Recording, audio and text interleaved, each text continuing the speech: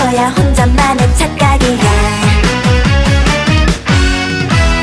약속 장소 시간 맞춰 나갔더니 30분이 지나도 오질 않네.